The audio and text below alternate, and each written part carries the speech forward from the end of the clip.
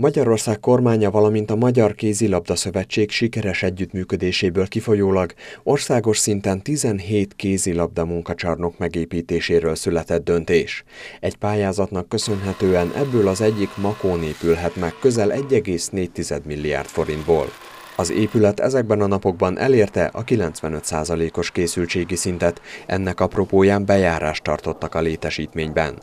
Farkasi Verzsébet polgármester elmondta, az önkormányzat hosszú évek óta jó kapcsolatot ápol az újvárosi református egyházközséggel, így egy ajándékozási szerződés útján jutott hozzá a városvezetés a szóban forgó mintegy 3200 négyzetméteres területhez.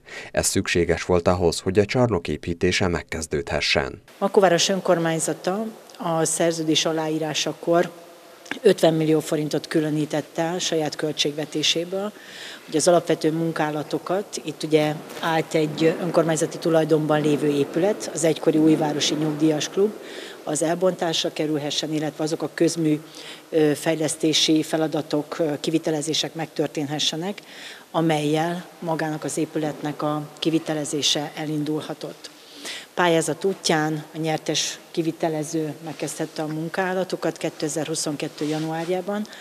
500 napos kivitelezési időszakra kötött szerződést, és gyakorlatilag ennek a folyamatnak a végét láthatjuk most. Mint elhangzott, a csarnok elsősorban a kézilabda utánpótlás nevelés lehetőségeit bővíti, de a mindennapi testnevelés oktatásban is komoly szerepet játszik majd. Mágori András József önkormányzati és megyei képviselő a témával kapcsolatos sajtótájékoztatón hangsúlyozta.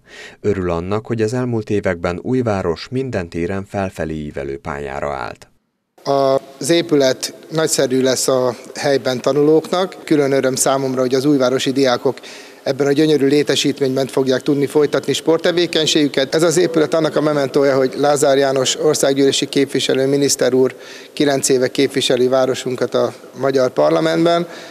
Ez a városrész előtte rendkívül módon elmaradott volt, általában kimaradt a fejlesztésekből, de azóta metamorfózison esett át minden kiszolgáló létesítmény, óvoda, bölcsőde megvalósulhatott, és az ő támogatása nélkül a város és ugyanúgy állna, mint korábban méltatlan módon. Szabó Tamás, a kivitelező cég ügyvezetője az építkezés kapcsán elmondta, a belső munkákkal szinte teljesen elkészültek. Ezekben a napokban jellemzően már kültéri feladatokat végeznek. Vannak még eh, kinti padfelszereléseink, kerékpártáró elhelyezéseink, a külső telekhatáron a kerítésnek a kivitelezése várat még magára.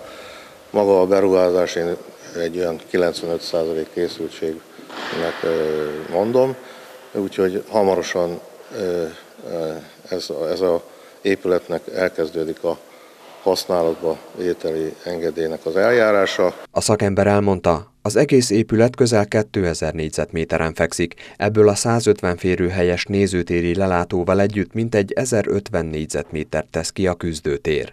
Emellett az oldalszárnyban kialakítottak egy egészségügyi szobát, egy fitnesstermet, négy öltözőt, valamint két játékvezetői öltözőt is. A tervek szerint 2023. augusztus utolsó napjaiban átadásra kerülhet a sportkomplexum.